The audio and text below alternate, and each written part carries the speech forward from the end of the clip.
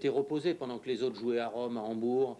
Euh, Pete Sampras, lui, se préparait aux États-Unis et il est venu sur la terre européenne avec de nouvelles armes, avec un, un moral tout neuf, évidemment avec son service. Il a retrouvé Becker qu'on n'avait pas vu en finale d'un tournoi sur terre battue depuis pas mal d'années. Ni l'un ni l'autre n'avait gagné un grand tournoi sur la terre battue européenne. En fait, comme vous l'avez dit, il n'y a pas eu de match.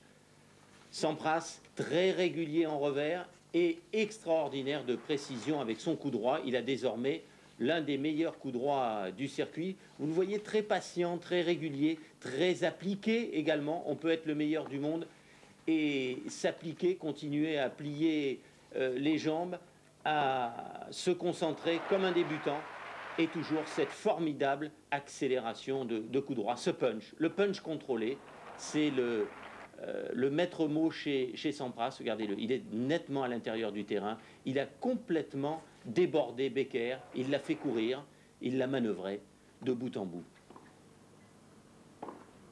Alors c'est véritablement euh, très impressionnant parce que c'est son premier tournoi de l'année sur cette terre battue. Il avait eu deux ou trois tours pour se roder, il a gagné en 3-7, il a perdu un 7 par-ci par-là euh, contre un Espagnol. Et puis à partir des quarts de finale,